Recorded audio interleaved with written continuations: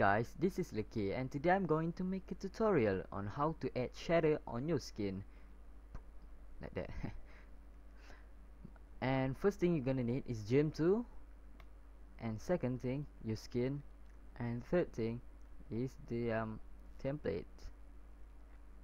As you can see the link to download the template in the description below. And this is my skin. First thing, uh, first step open your GIMP second step open your skin that you want to add shadow on it.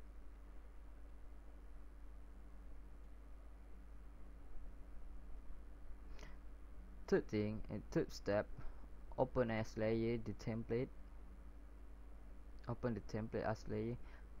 Do not worry if this happen.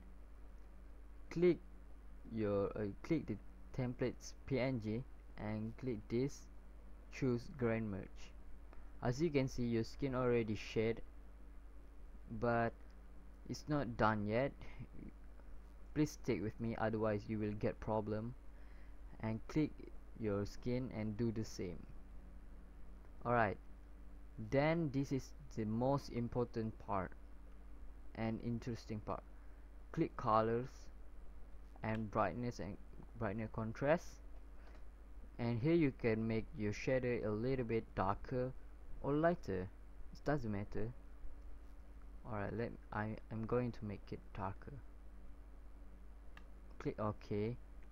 And click file. Do not choose save as. Do not click it.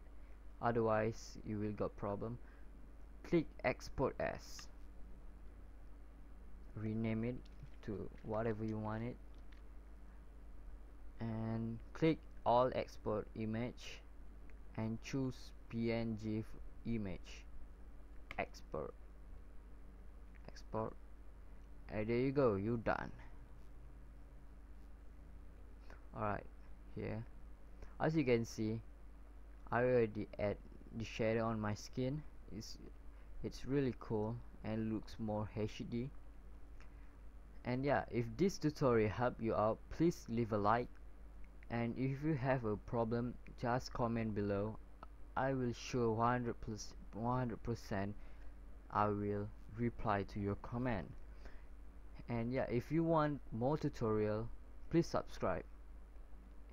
Please check my other video my let's play or my minecraft mini game play alright that's all for today.